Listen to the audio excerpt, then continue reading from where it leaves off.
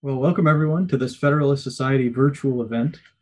Today, April 15, 2021, we're having a discussion on constitutional interpretation and a new book titled The Hollow Core of Constitutional Theory Why We Need the Framers. I'm Nick Marr, Assistant, Direct, Assistant Director of Practice Groups at the Federalist Society.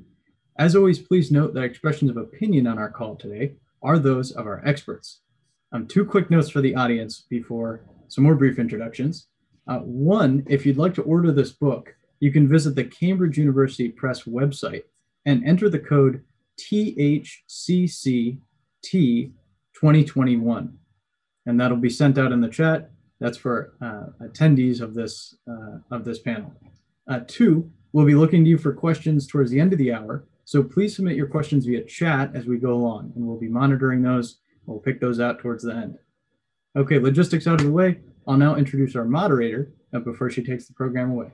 We're very pleased to be joined this afternoon by the Honorable Britt Grant, who serves on the U.S. Court of Appeals for the 11th Circuit. She was appointed to the federal bench in 2018 after serving as a justice on the Supreme Court of Georgia and as Georgia's Solicitor General. Her longer bio is available on the FedSoc website. Uh, but with that, thanks very much for being with us today. Judge Grant, the floor is yours. Thanks very much. It's my pleasure. Um, this is an exciting new book, but before we start our substantive discussion, I'd like to introduce our panelists. First is Don Drakeman, our author, who is also a distinguished, distinguished research professor in the program in constitutional studies at the University of Notre Dame. He's the author of seven books, and his writings have been cited by the Supreme Court of the United States and the Philippines. Professor Drakeman earned his JD from Columbia University and a PhD from Princeton University. Welcome.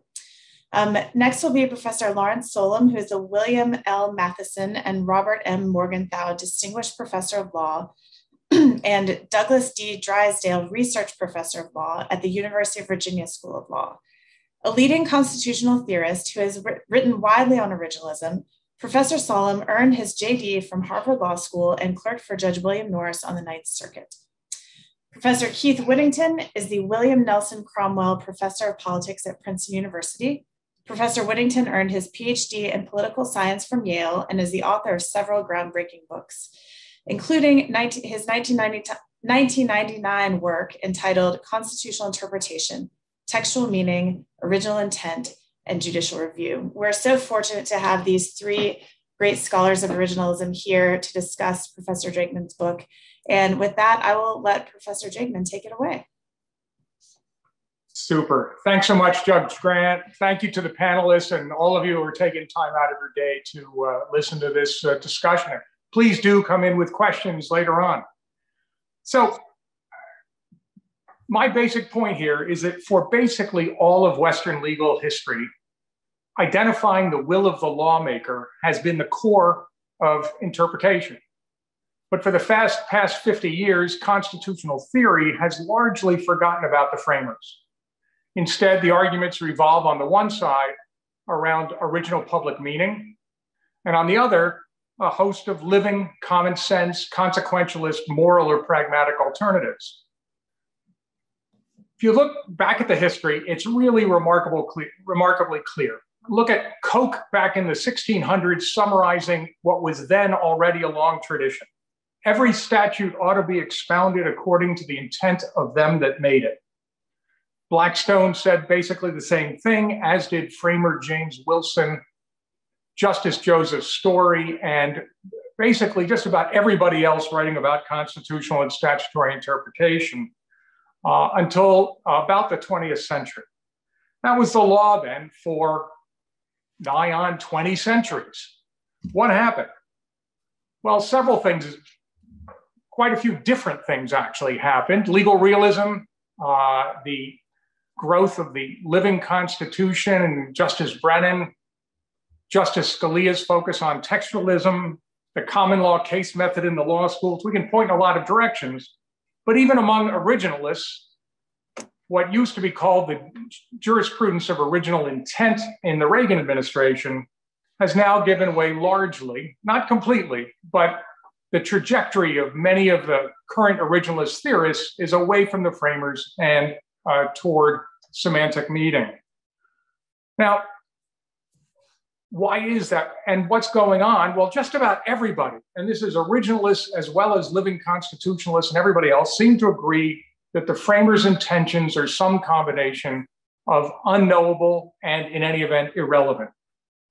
And since everybody has bought into what John Manning's called intense skepticism, we haven't given enough thought into why the framers were jettisoned and why we've lost what was the core of interpretation for all those centuries. That's really the project of my book. Now, a couple of quick things you'll say wait a minute, Article 7 settles this. The ratifiers made the Constitution into law. And so we don't really have good records from the ratification conventions. That leaves us with the public meeting. There's not much left. This issue is really a red herring. I think it's terrific. It's actually one of legal history's great misdirects. This is a Wizard of Ozian, pay no attention to the framers behind the curtain move by the convention. So if you look at the constitutional convention, its sole purpose under the articles was to amend the Articles of Confederation. And any amendment that they came up with was required to be approved by all of the state legislatures. But that's not what they did. They came up with an entirely new constitution. And instead of submitting it to the legislatures, they came up with Article 7, this brand new idea of ratification, and that ratification would be done in conventions, not legislatures, and it would be good if only nine approved it.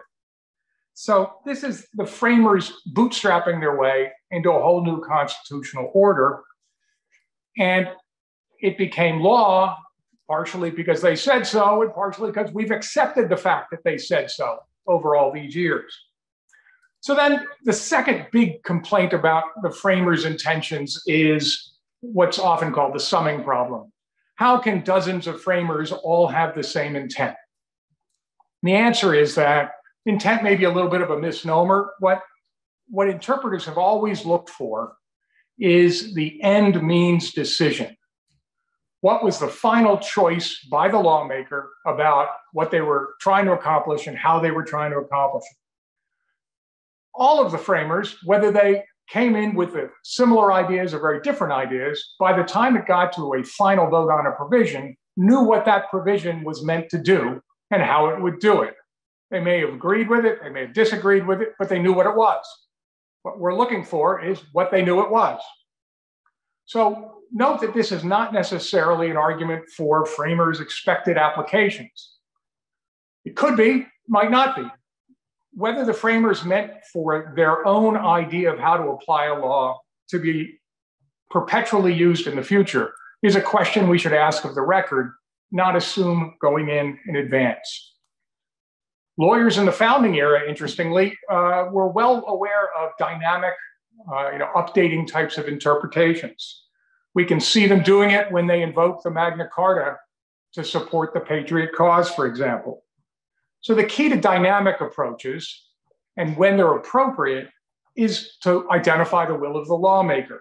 Then you look at the nature of the changing circumstance and you say, can we apply the will of the lawmaker to the changing circumstances in a way that's consistent with the framers' original choices.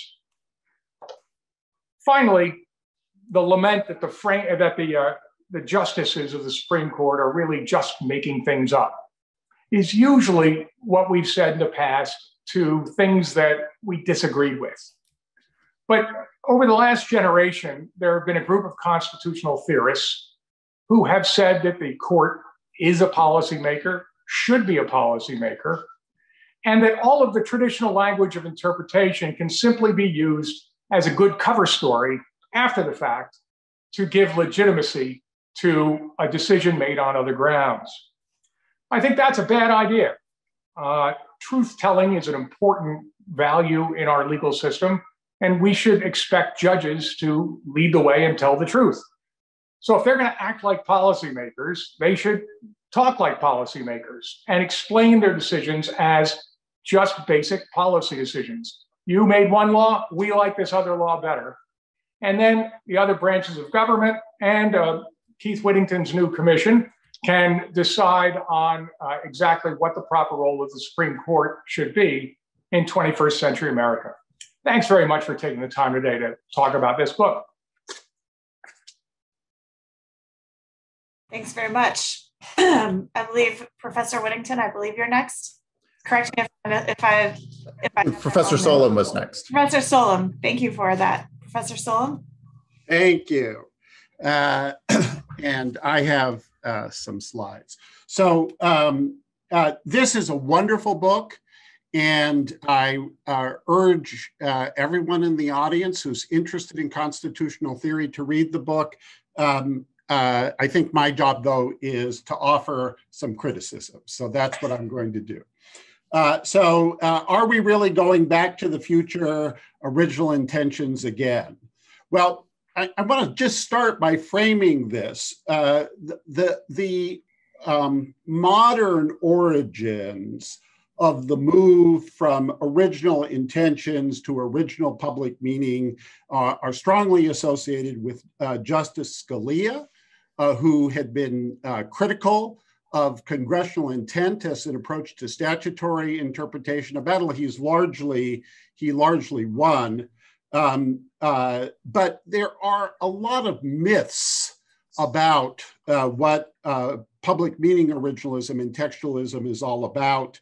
Uh, uh, some people argue that this must be literal meaning or bare semantic meaning, and, and that's just a distortion. The reality is that public meaning originalism embraces context. The public meaning of the constitutional text is the communicative content delivered by the text given the publicly available context of constitutional communication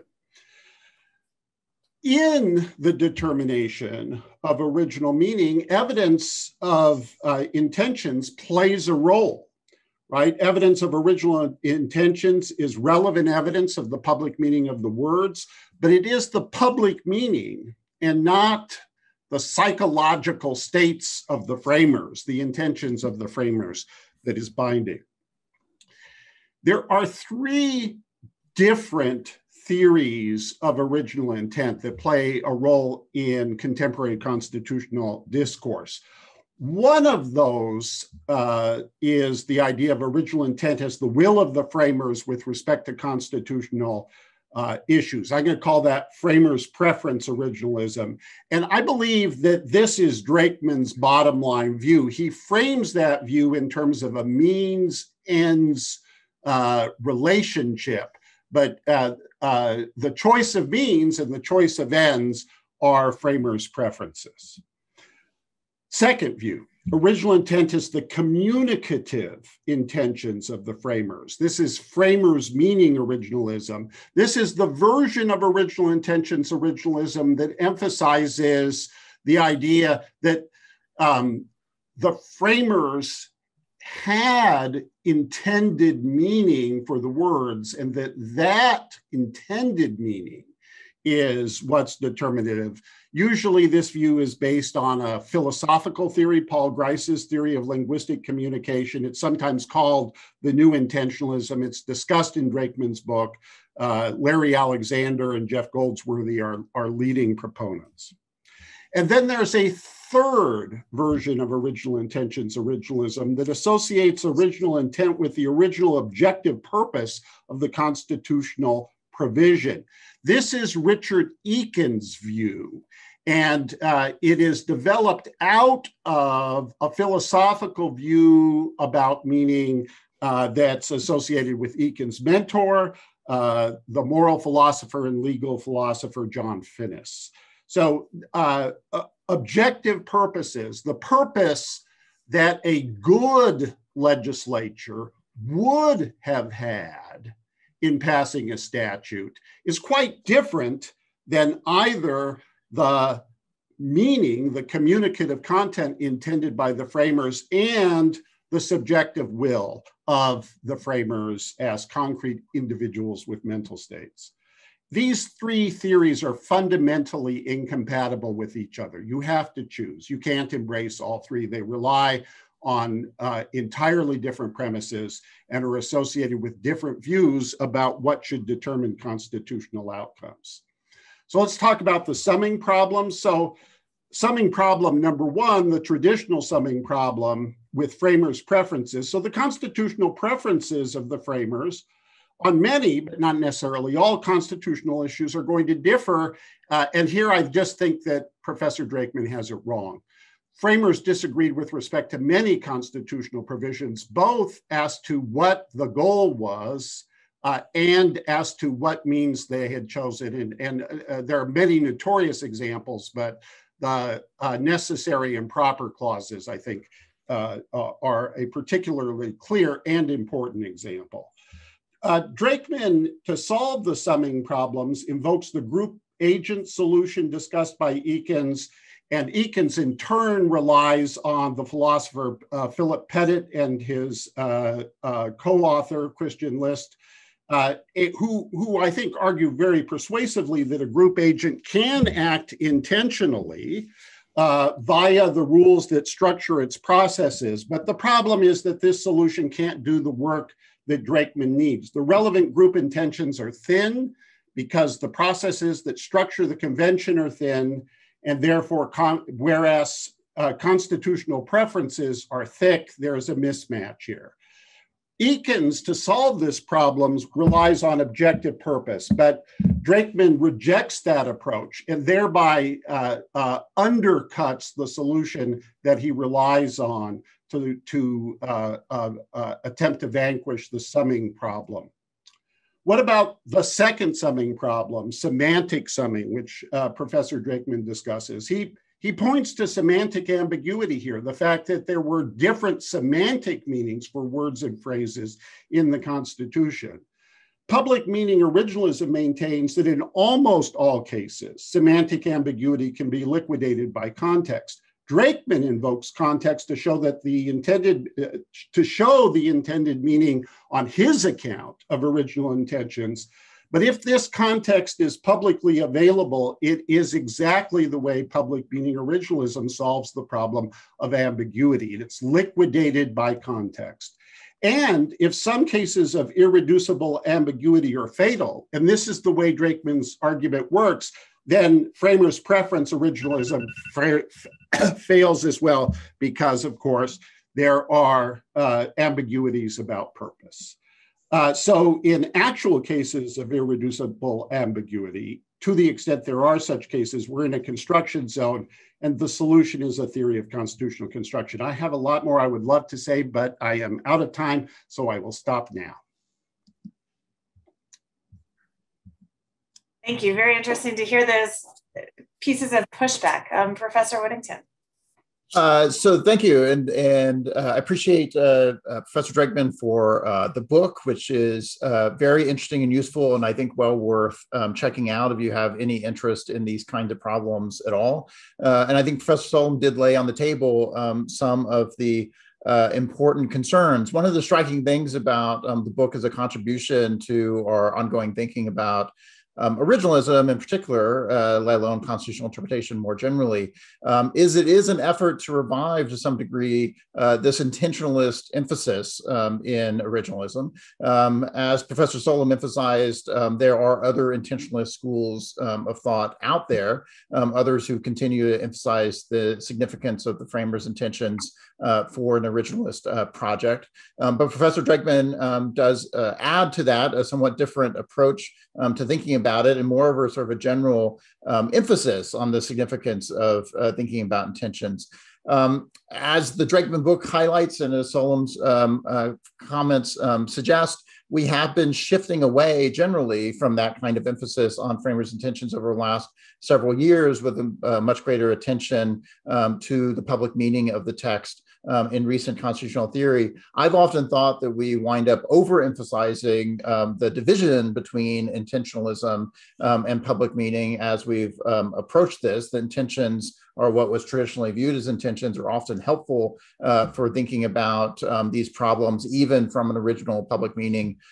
um, perspective. And as uh, Professor Solum emphasized, um, that's partially true because intentions are part of how we get at the context um, in which words are being used. Um, and context is crucial um, to thinking about um, the meaning of uh, the constitutional text from an original uh, public meaning uh, perspective, that we need to understand uh, not only what the words might mean in a dictionary semantic context, but also uh, what the words meant in the specific context in which they were being adopted by by a specific set of lawmakers in a specific historical moment uh, undertaking a specific historical project. Um, and the kind of evidence that we think of uh, from a constitutional intentions perspective is part of the evidence that we would want to turn to from any kind of originalist perspective, I think, in order to make sense um, of, of that constitutional text. Um, so I, I value then this emphasis on uh, uh, paying attention uh, to intentions that Professor Drakeman uh, would want um, to emphasize. Um, the question in part is uh, Does that mean that we need to transition all the way to a primarily intentionalist approach uh, to thinking about these issues? And should we um, abandon um, particular aspects um, of, of, public meaning? And I don't think the book um, gives us good reasons to think that we ought to um, uh, move away from the kind of public meaning approach um, that many originalists uh, would emphasize um, uh, in general. And there may be lots of ways of ultimately reconciling uh, part of what Professor Drakeman's concerned with um, and what um, originalists from the public meaning perspective uh, might want to highlight. So one of the concerns uh, for public meaning originalists um, is that the uh, fo- uh, exclusive focus on intentions uh, will introduce more ambiguity and more uncertainty about what the meaning of the Constitution is um, than thinking about public meaning uh, more, more generally. Professor Drakeman spends a fair amount of time in the book trying to address what was traditionally characterized as this summing problem. How do we uh, deal with potential ambiguities that might be uh, embodied in the fact that you have lots of um, uh, different framers with uh, somewhat different views um, uh, expressing themselves in the context of the Philadelphia Convention, likewise ratifiers and the ratif- and ratification conventions, and how do we uh, reconcile these uh, competing views? Um, that is a particular challenge um, from the intentionalist um, uh, perspective, and one virtue of the original public meaning approach is it does uh, reduce some of those challenges um, by by uh, focusing our attention less um, on to what degree can we add up these specific um, uh, preferences um, by particular authors and instead think about what's the meaning of the text um, that they wound up um, agreeing on. Um, part of the virtue of shifting uh, to give greater attention uh, to the public meaning approach um, is its emphasis on the extent to which sometimes the specific choices being made by the founders um, is to adopt sets of principles or rules. And one of the traditional problems of a lot of the intentionalist um, approaches, or at least that advocates of intentionalist approaches uh, tended to emphasize, was a great deal of attention to the uh, very concrete policies that might follow uh, from the adoption of specific constitutional texts, sometimes expressed in terms of uh, a problem of expected applications. One thing Professor Drakeman wants to emphasize is that we should not feel ourselves to be wedded to expected applications, um, even if we adopt um, the intentionalist approach. He wants to provide some space um, for thinking that the founders uh, might have been wrong about some of their expectations about how particular applications uh, would play out, um, or that they might have ex- uh, uh understanding um, that their expected expected applications uh, might not carry through in practice, especially to the extent the circumstances um, change um, over time. He wants to cabin that a little bit by um, connecting it to the particular context in which they're adopting this. And so some of the question is a historical one um, of to what degree did the framers themselves um, expect that their expected applications uh, would not be uh, binding on future uh, interpreters attempting to apply um, their rules. That might reduce the space to some degree between this more intentionalist approach um, and traditional um, public meaning approaches. Um, but one thing that I think the public meaning approaches would certainly want to emphasize is we should be cognizant of the fact that it's sometimes the case that the constitutional drafters are choosing to draft um, constitutional text that includes uh, broad rules um, that um, uh, are going to have to be applied in a variety of uh, circumstances uh, into uh, the future. And that requires an interpreter to try to be thinking not just about what the specific policy preferences are um, of those who are drafting the Constitution, but really trying to think about um, uh, what is the larger rule that they laid down and how, and, and then to exercise judgment to determine how that rule um, ought to be applied um, in particular circumstances. My suspicion is um, there's still going to be a gap between uh, what Professor Drakeman would emphasize and what original public meaning uh, scholars would emphasize about how much judgment uh, future courts and future interpreters are going to have to exercise uh, in order to uh, think through how to apply um, uh, more abstract rules to uh, particular circumstances uh, going forward. Um, but I look forward to seeing how this uh, uh, concern winds up uh, developing over time, and to what degree does the gap get wider, and to what degree does it shrink between Professor Drakeman's view about intentionalism and how it ought to play out in practice, and the more traditional, um, what is now traditional, public meaning perspective um, that many um, others would would emphasize. Um, Professor Drakeman only says um, a few brief words in the book about what what to do when you have irreducible ambiguity in the context of the constitutional text. As Professor Solum notes, a lot of the new originalism would emphasize um, that we're now in the construction zone when we encounter um, that kind of aspect of the Constitution where we have to start making uh, political choices, exercising political judgment about how to flesh out constitutional rules um, in the face of that kind of, of, ambiguity. And it's not clear if Professor Drakeman actually thinks we can uh, reduce that uh, core of the construction zone um, to uh, nothing or next to nothing, or whether or not it will remain um, a sizable portion of what um, those who are trying to live under a written constitution uh, will have to grapple with uh, moving uh, moving forward. Um, one uh, feature of the new originalism is to recognize that there is, in fact, going to be a fair amount of irreducible ambiguity, uncertainty about the meaning of the constitutional text um, that's going to have to be fleshed out in some uh, fashion. Um, intentionalists traditionally were often concerned with minimizing how much of that um, ambiguity is going to be left in order to um, claim um, uh, a very large amount of certainty um, about what the Constitution um, actually requires in practice. And it's just not entirely clear to me how far Professor Drakeman would want to go in that direction um, of claiming that the constitutional text, if properly interpreted, uh, will provide clear answers to the full range of constitutional questions we want to encounter, or whether or not uh, we will still be confronted uh, with a significant amount of uncertainty uh, about what the Constitution requires, and as a consequence, be confronted with the necessity um, of making some choices um, about what to do uh, with the constitutional text, um, even given uh, this particular form of, of originalism. Um, so I look forward to hearing more uh, from Professor Drakeman today, but also in the future as we see this kind of approach um, laid out. But it's an interesting new addition to the originalist debates, highlights some features um, of our thinking about originalism that I think uh, he correctly um, suggests that we have not been paying enough attention to. Um, and there's a great deal of value then in, in, trying to pay more attention to the some of the arguments he's putting on the table. Thank you. Some interesting feedback there too. I think the one of the last points you made, Professor Whittington, I think is a great place to start the moderated discussion, which is Professor Drakeman, how much do you see your theory reducing the amount of ambiguity that um, scholars and courts are dealing with versus um, simply being a different mode of interpretation that, that might lead us to a, more correct answer that still leaves significant ambiguity. I know there's been a lot of discussion about reduce strategies to reduce ambiguity in, in lots of um, textual interpretations, but where do you see your theory coming into play on that front? Sure. Thanks. Uh, thanks to all of you for the great insights. And that's a super question, Judge Grant. I think this whole project came out of, of ambiguity. Uh, and you'll probably say it ends up with a lot of ambiguity. Uh, but, but I'm, you know, by main background, I'm a church state scholar. And uh, I've written a lot about the Establishment Clause. And, and where I came out was you do it as fairly as possible to the evidence. You look at the techniques of, uh, you know, OPM originalism, uh, semantic meaning, context, everything else, you get at least four different answers.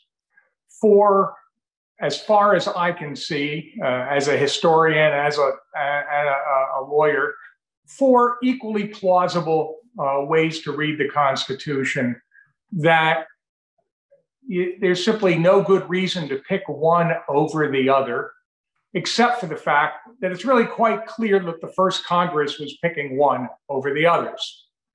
And if you're going to look solely at the broader co- context and do what, and again, so it's a matter of how hardcore your, your OPM originalism is. If you don't look at all at the records of the, the first Congress, uh, then you're going to miss that. If you look only there, and don't look at the, the public meaning, then, then you'll probably come up with the right answer, but for the wrong reason.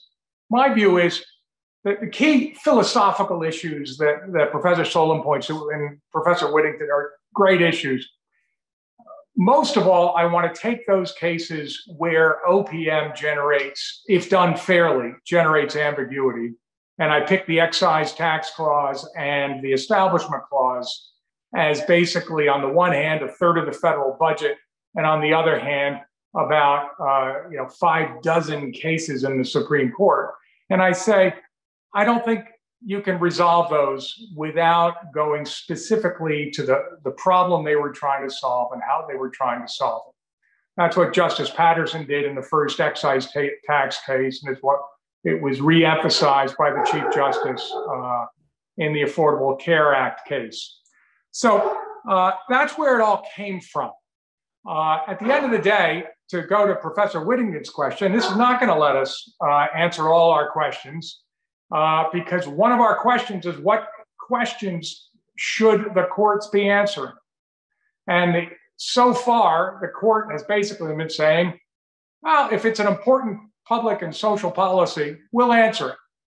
Uh, that historically has not been the case. And historically, um, uh, commissions like the one Professor Whittington's going to be a part of, but perhaps oriented somewhat differently, have looked at uh, jurisdiction stripping and court packing as the mildest possible alternatives. Uh, Charles I preferred the Star Chamber, uh, and uh, and earlier Roman emperors simply uh, seized the judge's property and banished them to foreign lands. Uh, you can put that on the list for your, your committee discussions, Professor Whittington. Um, so uh, I think that, that there's going to be no end to both vagueness and, and ambiguity uh, in interpretation. That's what, you know, several millennia have told us. Uh, I'm not really arguing that we should pick the framers' intentions in place of what the public meaning is. I'm arguing that if you really dig into the public meaning, you're going to find there's more of it than appears on the surface because we're looking at it from two centuries later. And when we look backwards, the issues seem pretty clear. When you look forwards from the history, they're not so clear. And so uh, ultimately, there will be questions to which there's no answer. And then, then you get into issues of basic uh, role of the courts in society. But no, you're right. Not, none of this is going to fix it. Uh, but I think I'm a little closer to the Gricean view than Professor Solum would, would give me credit for. Uh, I just don't think it takes us far enough. In response to that, Professor Solum? Oh, you're you're on mute. Thank you. Uh, I want to I want to just emphasize first how terrific the book is, uh, and uh, I I absolutely agree that the Constitution is riddled with semantic ambiguities. Of course, it is. Almost every word in the English language has more than one meaning, more than one sense. Uh, and so, in order to understand the Constitution, uh, we have to look beyond the words and understand the context in which it was written. And an important part of that context is the problems they were trying to solve.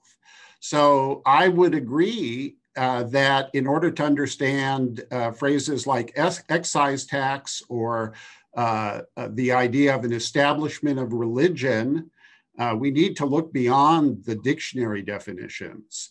Uh, we need to understand what problem was being addressed and uh, when we understand that, uh, we'll be able to figure out what the constitutional text communicated to the public. So maybe we don't disagree at all, maybe, or maybe it's just a, a matter of emphasis. Um, I do think that it's important to understand that they saw the Constitution as different uh, from an ordinary statute. And one of the reasons they thought it was different um, uh, was because uh, uh, they understood it to be uh, an act of democratic self governance, an act of popular sovereignty. It, it begins with the people. And uh, as uh, Chief Justice Ma- John Marshall said in Gibbons v. Ogden, it's because the people adopted the Constitution that it has to be understood to have employed words in their natural sense. So uh, uh, I think public meaning originalism reflects a profound difference created by uh, a constitution adopted by the people as something that's really quite unlike statutes adopted by parliament uh, or ordinances established by kings. That was that was actually a question that I had as I was listening to everyone's remarks. Um, Professor Drakeman, how much daylight do you actually think there is between your proposed method and what a lot of originalist OPM originalist scholars seem to think is the importance of context in determining that original public meeting? Where where do you see the differences between those two? So I think that that there ought to be not much if their view of context is uh, is broad enough because I think my view of uh, public meaning is broad enough to overlap. And so you really get to the question of, of on the spectrum of OPM originalists, uh, you have the corpus linguistics dictionary group that just say we could go out there and and measure something or or look something up and there's your meaning and we're not going to look at anything else. Uh, I those are the people that that I I probably have the most distance from. Uh, and then there are you know Professor Solum's triangulation method, or I mean both Professor Solom and Professor Whittington are far more friendly to the framers than uh, a number of folks that are on the uh, like I, what I would call the the Justice Scalia end of of uh, you know I'm not interested in what the framers had to say. I'm only interested in the words they picked. And I would say I'm interested in both. And, and I, I don't think that's going to drive a lot of different things. I'd be, I would not take the position necessarily that I can dream up an intention of the framers that does not overlap with at least one equally good objective public meaning. I just think, again, I'm a historian. For, you know, and therefore spend too much time looking at the context. And I think if you do that, you realize, like they found out in, you know, they had a debate in Congress over the excise word. And what they agreed upon was that people in New England thought it meant something different than what people in Virginia thought. Okay, so we've got that in the record. What do you do about that? What do you pick?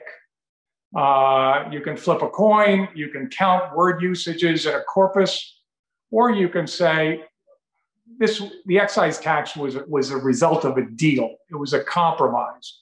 So not a particularly attractive one. Uh, nobody wanted it going in. Uh, it was the, the probably best of a bunch of bad alternatives. And that's what they got to. And so otherwise, as Justice Paterson said, the semantic questions turn in a circle you go round and round, you find really good evidence on what it means. What's the context? Well, they were arguing about the taxation power. But only when you get right into it and say, why do they care about this issue? Do you come up with the capitation and real property answer that Paterson uh, locked onto, uh, and that, that the Chief Justice picked up in the Affordable Care Act case, and that was in fact what they did. Uh, so anyway, that's that's a long answer to a short and, and better question. So I'm not. I, my concern is not that OPM originalism is bad. I think it, it needs more history, and when it gets more history, it's going to need more theory to figure out how to deal with with ambiguities, and that's what I was trying to provide.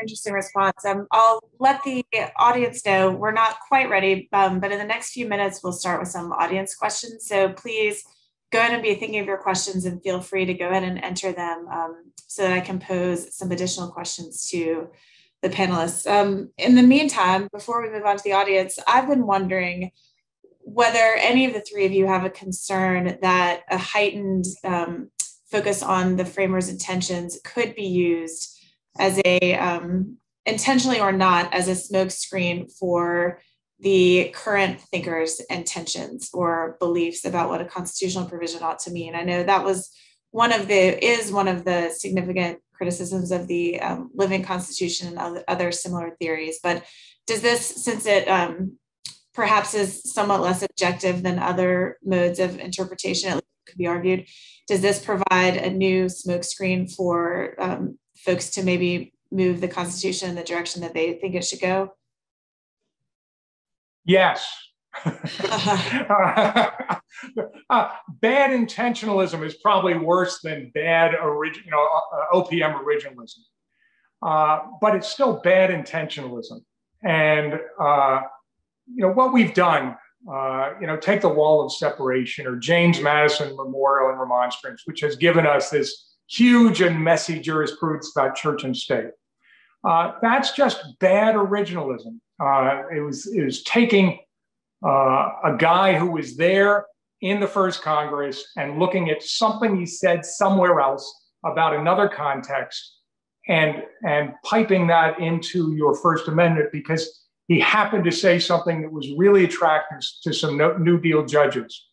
Uh, that's just, you know, yes, that's a risk. Uh, and, uh, and I think that, that the balance to that risk is that if we really take the original public meaning research seriously enough, we're going to get ambiguity all over the place and we're going to need a way to resolve it. And this is it. So, it, yeah, it's a tough one. That's a great, great question. Any responses from Professor Whittington or Professor Solum before we move on to audience questions? I, I just would say that um, it, it, it, you know, uh, a move back to original intent, I think, um, uh, can be seen in two ways. So I think some people uh, uh, are uh, very much attracted by the idea of original intent because they hope it provides more determinacy, right? They are hoping that when we have sort of the concrete, if we honor especially the concrete uh, uh, expectations of the framers with respect to particular constitutional issues, that will thing, make things more determinate. But then there's the worry. The worry on the other side is that if we're really talking about constitutional preferences, it's going to turn out that there's a lot of material to work with in the constitutional uh, materials, in part because there were uh, many, many disagreements about what uh, what sort of what ought to happen, and uh, and then in practice that can lead to what I think Professor Drakeman is quite rightly very opposed to, which is bad intentionalism or the cherry picking of the quote that indicates the constitutional preference that goes the way you want. And of course, the Supreme Court, um, I think the Supreme Court's um, originalism has gotten much better, and uh, uh, and I'm uh, especially uh, impressed with some of the originalism uh, that we've seen very recently from the uh, uh, United States courts of appeal.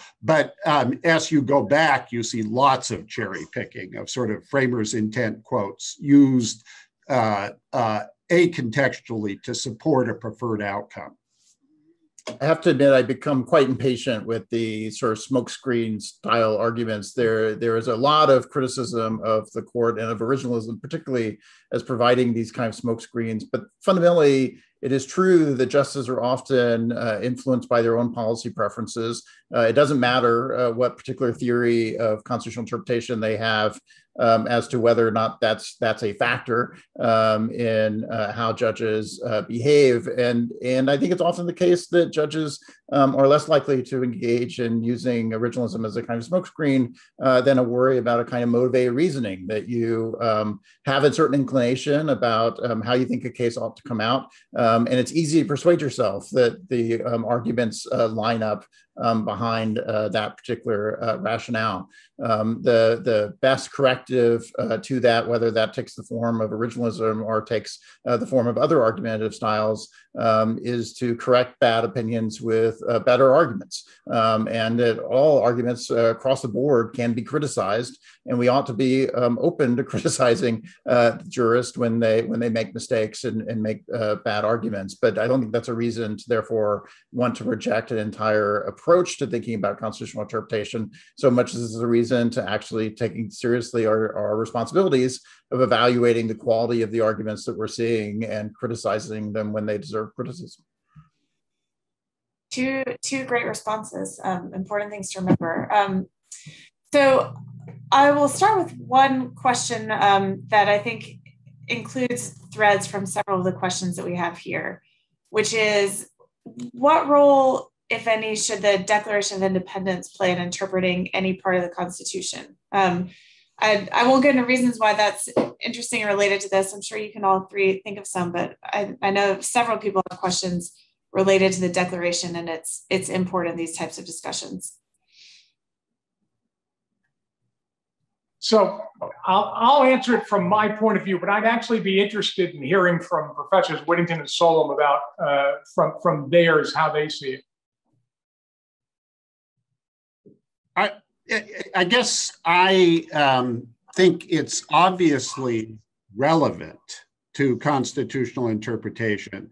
Uh, the Declaration of Independence uh, is an important uh, part of the public context of constitutional communication, thinking about the Declaration, the Revolutionary War, the Articles of Confederation, all of that is part of the story. It's part of the uh, basic context that members of the public uh, would have borne in mind as they were reading the words of the Constitution. But frequently, um, uh, when people talk about the Declaration of Independence and uh, the Constitution, they what they really have in mind um, is the preamble to the Declaration, uh, uh you know, which of course, um, you know, is uh, majestic. all humans are created equal, right? And so, um, and a sense of uh, inalienable rights. Um, and you know, the question is to what role that that preamble has uh, is important. But I, I I think that the the role of the preamble of the Declaration um, it is perhaps less important than many people think because the um, underlying uh, uh, uh sort of political set of political ideas that are an important part of the context of the constitution and particularly important in interpreting the first eight amendments uh, and the ninth amendment and and later the privileges or immunities clause of the 14th amendment. These ideas are not only to be found in the preamble of the declaration right? And in fact their importance uh, uh, to constitutional interpretation rests in part on the fact that they are pervasive. Uh, and, and, and that these are not just ideas that appeared in one document a decade or so earlier.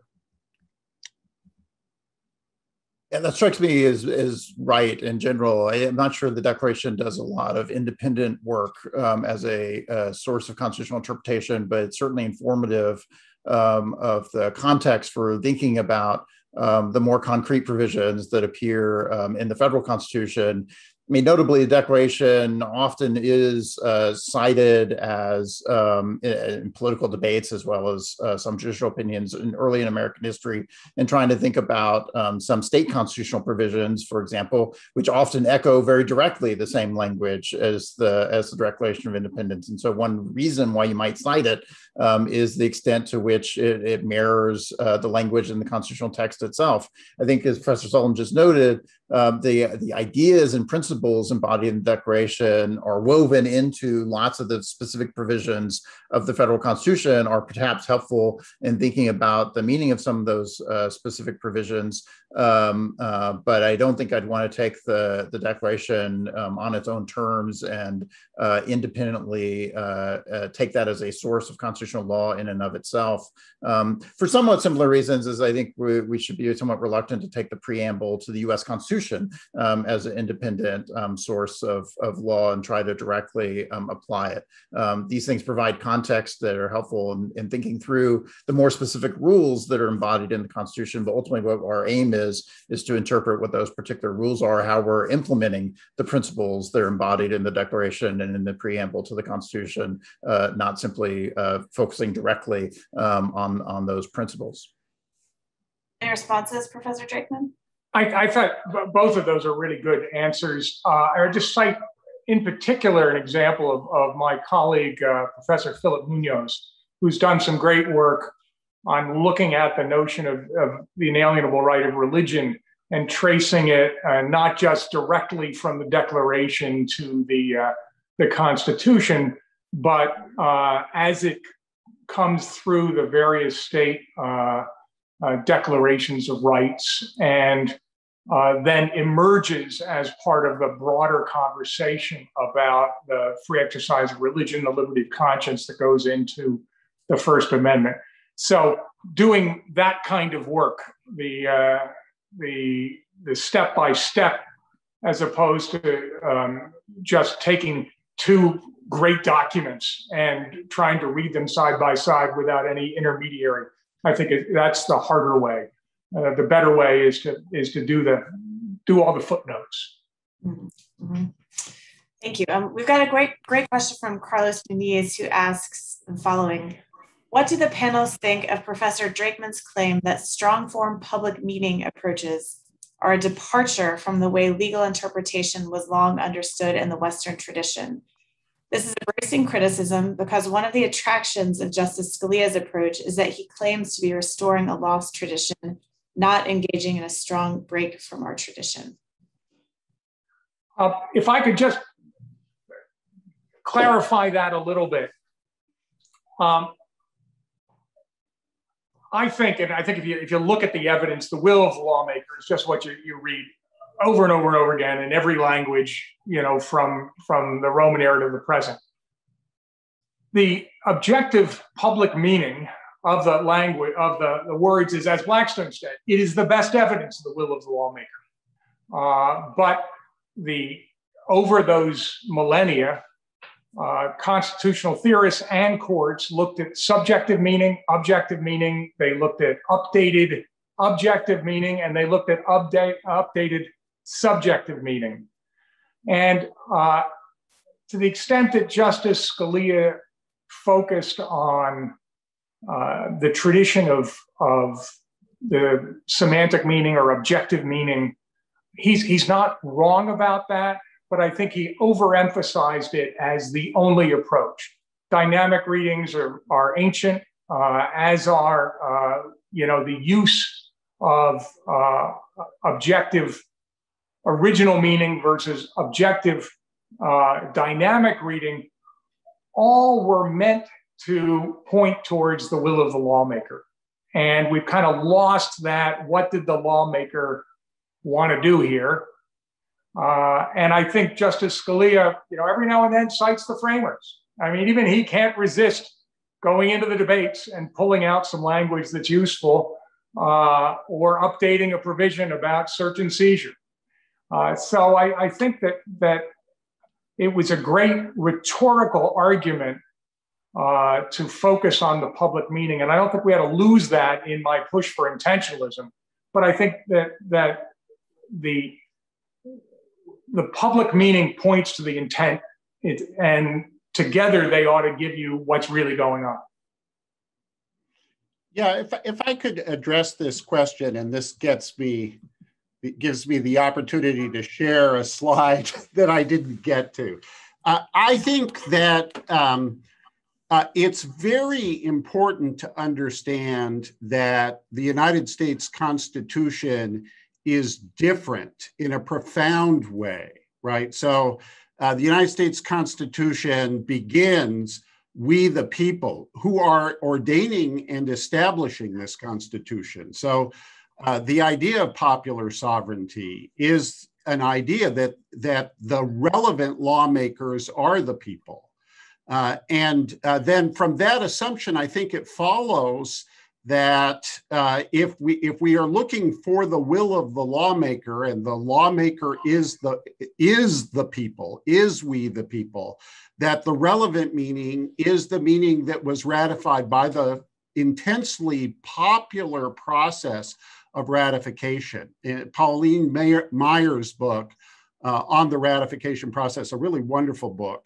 uh, uh, by an author who died uh, way too young, um, uh, really uh, shows how intense the public participation in the ratification process was with town meetings where citizens read the Constitution out loud to each other and debated its provisions, right? And and so the, and and and this is the source of the idea that John Marshall articulates in Gibbons v. Ogden. In the 19th century, uh, uh, there are lots of statements about statutory interpretation that emphasize legislative intent. That's for sure true. Um, but uh, uh there are dozens and dozens of statements uh, by Supreme Court justices, treatise writers, uh, uh, uh participants in the Philadelphia Convention, uh, emphasizing the idea that it's a public document with an ordinary meaning that has to be comprehensible by the people. And the framers knew that. So they intended to write a document that would be understood by the public. So, in, in sort of technical jargon, that is, they had a second order communicative intention to convey public meaning.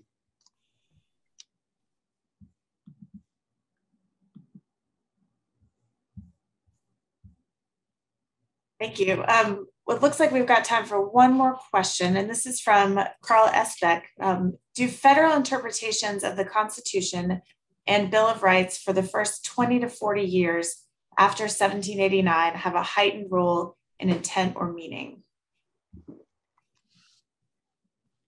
So Lord Coke would, would say back in, in, in his institutes, and Blackstone would pick up on this, that the interpretation of, of people at the time of enactment is something to be taken very seriously.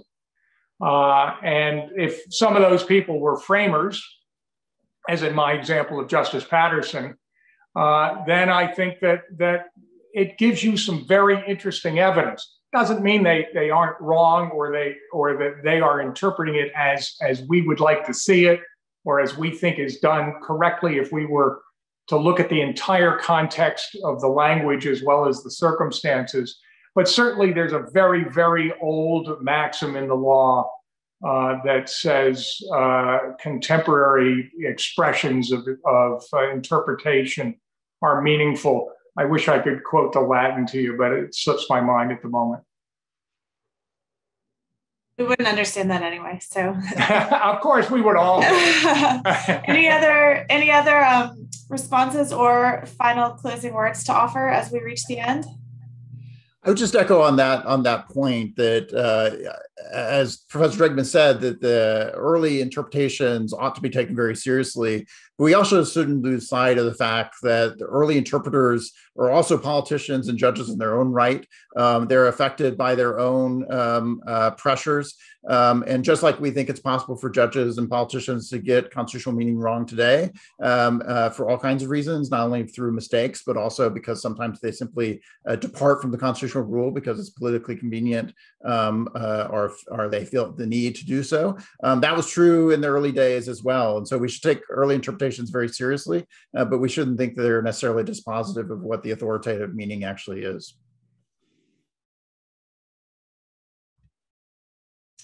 Well, that seems like a wonderful place to end as we hit 1 p.m. sharp. I know many people on here have taken out time to hear this important conversation. I'd like to thank all three of our panelists. Um, Professor Drakeman, thank you for this wonderful book, which really contributes a lot, not only to this conversation that we've had here today, but also to the broader conversation about originalism and how both scholars and judges should be looking at um, determining the meaning of the Constitution and its provisions.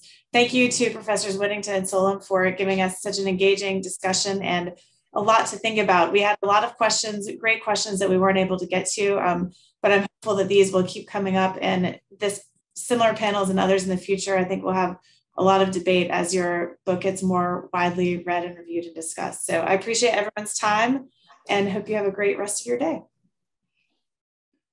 Thank you very much.